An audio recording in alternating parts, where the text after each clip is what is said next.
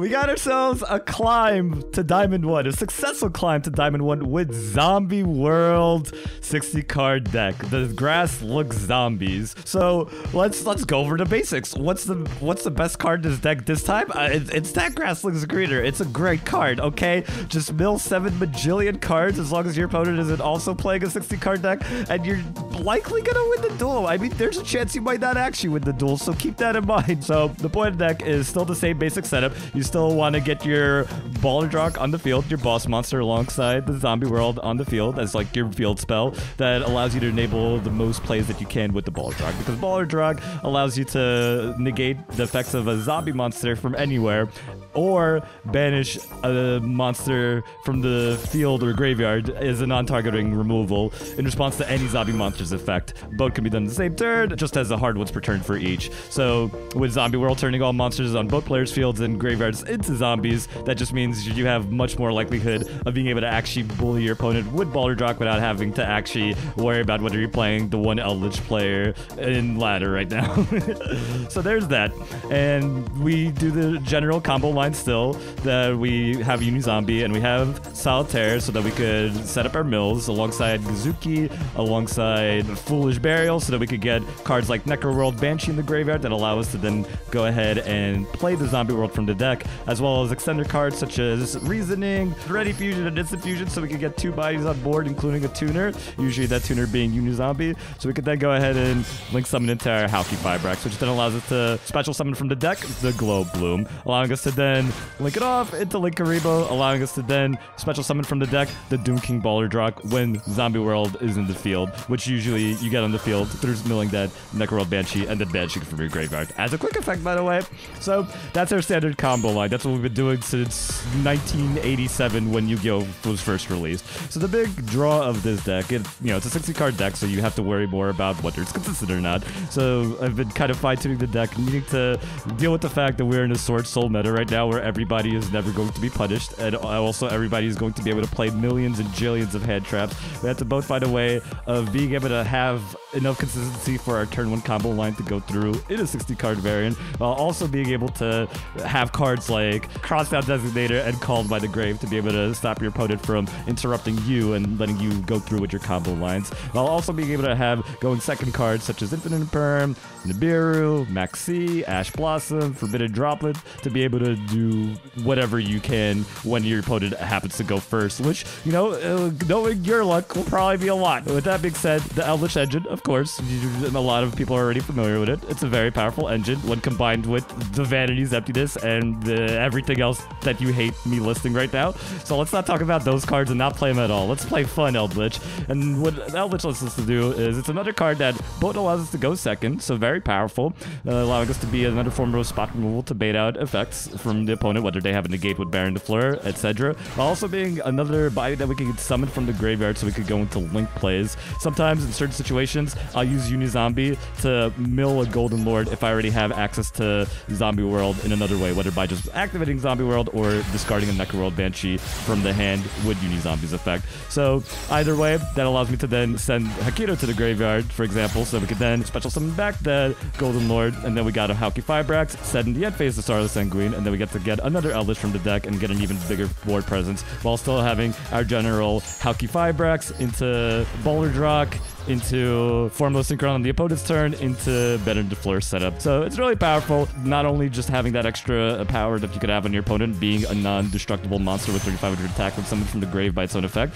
as well as being able to remove cards from your opponent's field, but also in this fact that it allows you to generate more card advantage than a lot of typical zombie world playlines can by virtue of being able to use the Eldlixir's effects and the Golden Land Traps effects to be able to go ahead and set more afterwards for the next turn follow-ups. I was initially playing more spells and traps from the Golden Land archetypes. I was playing three Hikiro, I was even playing the counter trap, and I was playing both the spell that special summons from the deck as well as the quick play that special summons from the hand or graveyard. And I felt those were really nice for having more likelihood to mill those off of reasoning and grass, as well as having more follow-up sets from banishes so that I don't burn out too quickly. But I felt like when you're not gaming with reasoning and that grass looks greener, I felt like it was just better to focus more on cards that were just playable from the get that goes. Mezuki, we usually play it at two, but in this profile, we're playing it at three because you could just keep milling them and then keep on using their effect to special summon more zombies from your graveyard. It's not once per turn. All you need is just more copies. So basically, with Zombie World, even your non zombie monsters could be summoned off of Mezuki. As much as we are adept at being able to get two monsters on board for link summons, or let's say we are able to get Uni Zombie and Underbody on board, but they Asher, Uni Zombie, and Necroworld Banshee can't get into the graveyard. We lack Zombie World now. Going into Hockey Fire. Cybrax into Glow Bloom does nothing because without Zombie World in the field, the card that we want to special summon from the deck gets added to the hand instead, which is level 5 or higher zombie monster. So adding Doom King Balerdroch to the hand is going to do nothing for us. Adding Elvish to the hand could do something for us, but if it's turn 1, that's a little too slow for us to really get any value for it. So really, we need to have a backup plan for those types of situations, especially since a lot of people are playing Infinite Impermanence, a lot of people are playing Effect Veiler, a lot of people are playing Ash Blossom. We need to have a backup plan for when your Unizombie mill doesn't go through, but you can still get a second body on board, and that's where we go into Verte Anaconda, which allows us to then go to the Destiny Hero Phoenix Enforcer and actually pretend to be a meta deck. That's pretty much why we do lean on the Verte Anaconda engine. It's small enough, especially in a 60 card build, and we have enough extra deck space to be able to capitalize at it that it feels like it's essential to really maintain impact and be able to like keep up with a lot of meta decks when there's so much hit trap and disruption going on in general. That being said, we do typically want to go ahead and prioritize the Hulk into Glow Bloom play over the Verte play. See, the one thing that contradicts is the fact that Glow Bloom, when used to special summon a Balerdroch from the deck, for example, it locks you into zombie monsters. Whereas when you use Verte Anaconda, you can special summon any more monsters after summoning your DPE. So usually you want to prioritize getting your Balerdroch out just because that's you know that's the whole point of the deck, and also that's what makes Zombie World so impactful. Because with DPE you do get the non-targeting pop, but with Balerdroch you get the non-targeting banish as well as the negate. And Balerdroch being able to come back every standby phase if it's set to the graveyard, as long as you have a field spell up, it just makes it that much more powerful. But there are certain situations where you could benefit from both. Let's say if you get Zombie World in the field somehow, and then you are able to mill Balerdroch, let's say you just use Unizombie to mill Doom King Balerdroch and Reasoning into another monster, for example, then you just use those two monsters to Verte into Destiny Hero Phoenix Destroyer. That's the way to play around Nibiru, since that's only four summons, while having a Balerdroch summon next turn, as long as it doesn't get called by the grave, which Hopium you have your cross designated to stop that. Then you basically have two very powerful disruptions, not targeting pop, non targeting banish, and negate, and then both monsters will come back in each standby phase, and that's just so much pressure for your opponent to deal with. Being able to have multiple boss monsters is really nice.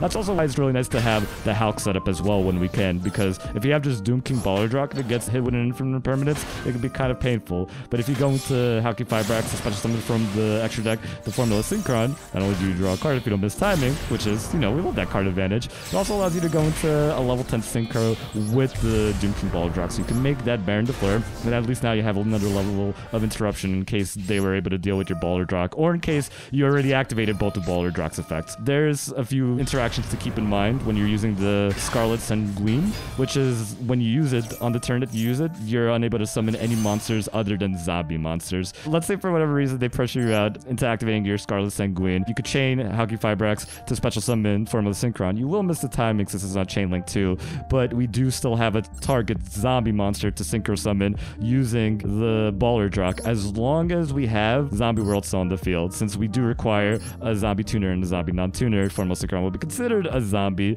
So in those situations where you still want to get a summon off of the Eldlixir of Sanguine, you could still go ahead and use Formula Synchron to synchro summon with the Balerdroch into Shiranui's Sun Saga, and that will result in a non-targeting pop 1 on your opponent's turn that also allows you to then return the Formula Synchron to the extra deck. And the reason it does so is because it's countered a zombie monster in the graveyard as well under Zombie World. Gozuki is here because it's another miller for us to play, and also Gozuki and Mezuki combo off really well with Unizombie because they're basically another way for you to guarantee your full combo. Having the Unizombie and either the Gozuki or Mezuki in hand is full combo because you discard one and mill the other, allowing you to then use Mezuki's effect to special summon Gozuki. And Gozuki will mill the Necro Banshee. You'll link both the Gozuki and the Unizombie into Halqifibrax, Glow Bloom Summon, Banshee into Zombie World, and Linkuriboh into Balerdroch. And you feel like a winner. It's wonderful. So I also play Link Spider into extra deck with the Hakiro and the Conquistador. Both, even though they're counted as traps, they're also considered normal monsters. So you can link them off into Link Spider as well, so you could use them to make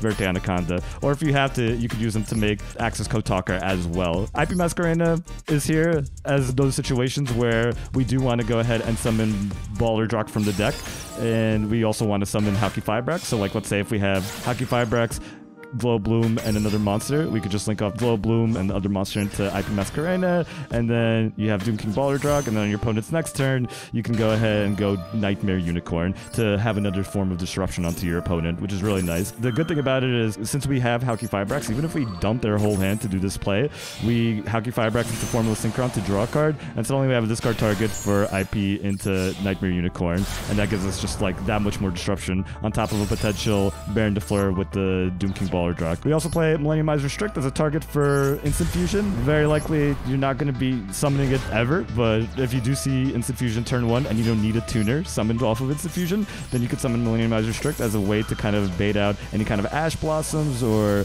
any other type of hand traps that you could negate so that you could play and do your typical Unizombie plays or your Grass Looks Greener plays because both are incredibly, incredibly hurt by Ash Blossom. Ash Blossom will stop Grass Looks Greener in his tracks. That's why whenever you do see Grass Looks Greener, you do want to make sure that if you possibly can, activate any other card that can be an Ash target, both to see if there's any kind of delay that would hint at an Ash Blossom, and also just to see if you could bait it out. If I had Fusion Destiny and Grass in hand, I am using Fusion Destiny first. If I have Unizombie and Grass in hand, I'm using Unizombie first. If I have Cursed Eldland and Grass in hand, I'm using Curse Eldland first. if I have Pot of Prosperity and Grass Head, I'm Pot of Prosperity for six, so they know I'm serious business and Ash at first. Because we really need to make sure that Grass resolves. Because the amount of advantage it provides us, it goes from being plus one, two to plus infinity and beyond. Because that's just how many resources we have to play with. Now, one thing to keep in mind is we only have three zombie worlds and no way to recur from the graveyard. It's not likely, but there are some times where you do run into the risk of being able to mill all three zombie worlds. So if you can help it, if you have, let's say, like a Necroworld Banshee, then you could mill off like a Foolish Burial, or if you have a Unizombie, or if you even want to just normal summon Banshee and banish it in response to Grass Looks Greener, just basically so that you activate Zombie World just before Grass resolves, so you guarantee at least one Zombie World in your setup. That way, your main strategy could still function. Other than that, Solitaire is essentially more copies of Unizombie. It could also be more copies of Glow Bloom, because it contributes itself to summon either from the deck. It's a big Ash bait, so just be careful with it. Try not to use it unless you're using it to bait out the grass looks greener. So like if I have a hand of Solitaire and Unizombie, I'm going for Unizombie because even if they ash it, at least I still have a body on board. Your hand could be complete garbage, but you resolve grass looks greener, and suddenly all the cards you want in your hand are in your graveyard. You use Mezuki to summon them off. So you see your Unizombie, use Mezuki to summon it off. Big benefit of Eldlixir of Scarlet Sanguine, if you already have your full setup along with a Golden Lord on the field, is that it could let you summon any zombie monster. It only requires you to summon Golden Lord if you don't already control Golden Lord. So let's say if you have Golden Lord and Zombie World in the field, but don't have Doom King Balerdroch yet, now you can summon Balerdroch from the deck. Or let's say you have Doom King Balerdroch and Golden Lord, you don't have Zombie World yet, or your opponent's threatening your Zombie World, you go ahead, use Eldlixir of Sanguine's effect to special summon Necroworld Banshee from the deck. It protects Zombie World from destruction and from targeting, and also it can be banished from the field as well as the graveyard to activate another Zombie World. So that lets you then play another Zombie World if you need to, as well as be a quick effect zombie monster that you could activate at any point. So you could then trigger Balerdroch's effect to banish a card that your opponent would control either on the field or in the graveyard. Other than that, we play Head Trap Galore. Maxi because hey, if we're going second, let's draw a billion cards. Ash Blossom because hey, it's still the best card in the game. Nibiru because wow, this meta is disgusting. And also we play Infinite Permanence because everyone's playing Infinite Permanence, so it's really nice as a crossout target while also just being a really powerful card to be able to use both going first and second. Any kind of negates that we do either on the opponent's turn or on our second turn to stop like a Baronne de Fleur from being able to negate our grass is just always valuable. Also play Forbidden Droplet as well. Initially I was playing three just as another way to go second, but I cut it down to two to fit in more special summons with the fusions. But I think like it's the same thing I talked about with my previous Zombie World video, which is that like as much as you want to be able to get cards in the graveyard, sometimes you're in situations where you don't have the right cards in hand or field to get to the graveyard, so it can be a little awkward. In this version though, it's a lot more forgiving because this deck focuses more on dumping more into the graveyard. So setting cards like the Golden Land spells and traps, for example, is pretty much free advantage, and you still are benefiting off of sending your three Mezukis or even your Gozuki or your Necroworld Banshee. So you still have a lot of good targets. So it's still like a really powerful going second card. Since we're playing a 60 card deck, I think two Glow Bloom is definitely essential because you're going to find yourself being able to summon off of its effect multiple times per duel. So like the first Glow Bloom gets you to your first Balerdroch, but then you can summon another Balerdroch from the second one. Or if you're in desperate need of an Eldlich, you could go ahead and summon it off of the Glow Bloom as well. So those are the two targets. So it gives you four monsters to be able to summon from the deck with Glow Bloom. Linkuriboh's core, Halqifibrax's core, and Formula Synchron and Baronne de Fleur are essentially core. DP Adverte is core in the sense that it's necessary to keep up with the meta. I never really go into Vampire Sucker. It just feels like really greedy. The general combo line for Zombie World that everyone talks about is after you go into Hulk, into Linkuriboh to summon Balerdroch, you link off the Linkuriboh and Balerdroch into Vampire Sucker, and then next turn you summon back that Balerdroch for a draw. So it's free advantage, it makes sense, but Call by the Grave is always a threat. It just it's too risky to get that Balerdroch in the graveyard. It feels too greedy. I only do that play if I have Crossout Designator in hand or if I know that my opponent's already low on resources and I know I could afford to get that extra bit of card advantage. Avendread Savior, especially in this build, can make so many games so much more relevant, even though it's a battle phase oriented effect, because it essentially allows you to mill during damage calculation when it battles an opponent's monster. So you do have to have a monster to attack into with this. You can mill any zombie monster for cost, so you could reduce that opponent's monster by the level of your milled monster times 200, essentially. Even if I don't destroy the monster, even if Savior crashes and dies against that monster, if I could get a Glow Bloom in the graveyard while Zombie World is up, using Avendread Savior's Mill, that's huge because that special summons the Doom King Balerdroch. And since it's during like damage calculation, being able to use Glow Bloom's effect there allows you to dodge an opponent's Ash Blossom, for example. So I think it's essential. It also lets you know more Mezukis when you want to then go ahead and main phase 2 start summoning monsters back and extending more. Nice thing to keep in mind is since after you synchro off into Baronne de Fleur using Formula Synchron and Doom King Balerdroch, since Balerdroch comes back, if you have to use the negate, you can also then use Baronne de Fleur's effect on your standby phase to special summon back the Formula Synchron while returning Baronne de Fleur back to the deck so that you could then use both the newly summoned Balerdroch and the newly summoned Formula Synchron to re-summon Baronne de Fleur and then reset its negate. Very nice and very nice. and another way you could reset Baronne de Fleur's negate is just linking it off, getting it off the field. Use your pop first. You pop one of your opponent's cards, link off the Baronne de Fleur, and then you have Mezuki in the graveyard. Mezuki special summons Baronne de Fleur under Zombie World. You could pop again on the same turn. You're insane. Seriously, keep winning. When it comes to Pot of Prosperity, for Pot of Prosperity, I'm always going to pot for six because we want to see grass. Also, we just kind of try to see what delays we feel from the opponent when it's our first turn. Whether we feel like there's a maxi they have in hand, we want to grab a Call by the Grave or Crossout Designator. I would probably opt to like banish Millennium Eyes Restrict, Sea Monster of Theseus, Link Spider, Vampire Sucker, IP Masquerena, and Shiranui Sun Saga as my six targets, unless I feel like Ready Fusion would actually like swing the course of my turn, in which case I'll probably replace the Sea Monster of Theseus with like Knightmare Unicorn, for example, because even though not getting a 5300 access code talker does suck, most of the time, like the advantage you gain, it doesn't necessarily need an access code talker OTK, and still being able to make it with 4300 attack and all of its nonsense pops is still an option on the table.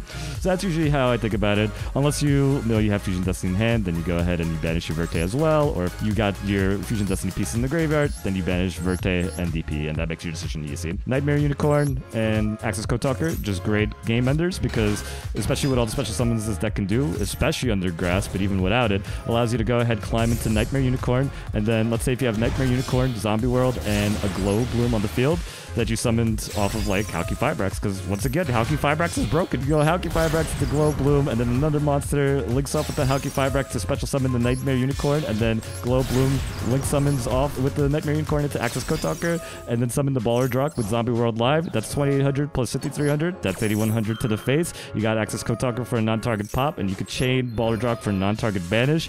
That's pretty powerful. Just gonna say that. So it's always a really nice option I have, but it's not always an essential game ender. A lot of times you just win the game just by out grinding your opponent by like disrupting them, negating them, banishing them, and then just swinging, swinging, swinging with something like a Baron, Balerdroch, and the Golden Boy. So a couple of replacements that you could consider is you could take out Sun Saga. If you don't have it, I wouldn't craft it. You could take out Link Spider, Millennium Eyes Restrict as well. I don't think that's essential. It's just another tech I added. And you could take out the IP Masquerena, or you could add an Apollousa to keep alongside the IP Masquerena. Though I found myself almost never making the Apollousa. In any situation that I could, I felt like it wasn't really addressing the problems that I was having. I already have enough to deal with monster effects in general. I felt more concerned about, let's say, back row, for example example, or any kind of floodgate. So that's usually why like I still kept it for being able to spend like an important back or field spell or face of card with Knightmare Unicorn, for example. So that's kind of the mantra with that. But out of all this, Knightmare Unicorn and Access Code Talker aren't core, but they help lead to so many OTK lines that I think you should be playing them. And you should just have them. Come on. Uh, other cards you could play, you could play Chaos Ruler, the Chaotic Magical Dragon, or however pronounced. Mill 5, it's pretty cool. Could be useful. And even milling your Eldlich cards could be nice nice. You can play PSY-Framelord Omega uh, as like a level 8 synchro target, and then you could play even Shooting Riser Dragon as well, so that you could mill a zombie monster that you want. You can't activate that zombie monster's effect on the same turn, but it gives you follow-up. And then let's say if you mill like a Mezuki, for example, with Shooting Riser Dragon, now you're level 3 Shooting Riser Dragon, you could use like a level 5 Hakira to go into a level 8 synchro, whether like a Borreload Savage Dragon with like maybe a Link Linkuriboh attached onto it if you manage to get Linkuriboh to the graveyard, or going to Gamma, or go oh, to whatever, man. I don't know. You do you. You can play Knightmare Phoenix. There's so many options to play. It's really just about what you want to tech. So that's the deck profile. You got the Diamond one. It's excellent. And we happy, boys. Tiny Magic Hedgehog destroyed.